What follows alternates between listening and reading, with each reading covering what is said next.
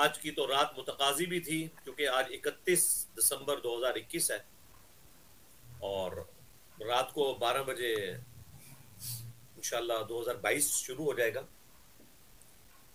इस happy new year की रात में जो कुछ पूरी दुनिया के अंदर तूफ़ान बदतमीजी और बेहयाई का बाज़ार गर्म होता है, ज़ाहिर इस्लाम तो उस चीज़ को सपोर्ट नहीं करेगा।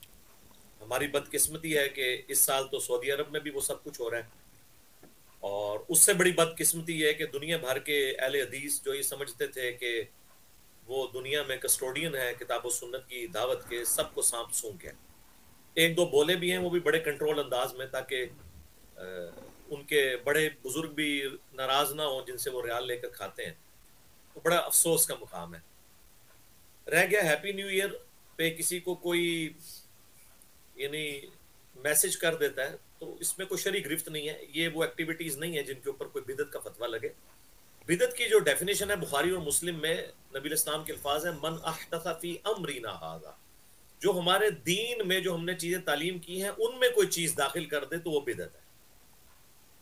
यानी अगर कोई फजर के दो की बजाय तीन फर शुरू कर दे, या रबी अव्वल शरीफ में वो सोमवार के दिन का रोज़ा तो ज़ाहिर है कि पूरा साल साबित है, सही मुस्लिम में हदीस है, नबी इस्लाम फरमाया फ़ी बुलित व फ़ी उनजिला अलैया। इस दिन मैं पैदा हुआ, इस दिन मुझ पर पहली वही नाजिल हुई तो उसकी खुशी में नबी इस्लाम मंडे का रोज़ा रखते थे।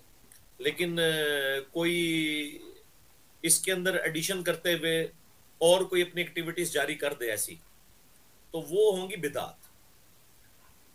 न्यू ही ईयर को मनाना एक दुनियावी एक्टिविटी है, जिस तरह के हैप्पी बर्थडे को मना लेता है।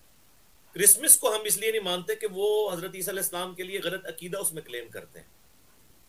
कि खुदा ने बेटा जना नाउजुबिल्ला उनका तो ये अकीदा है।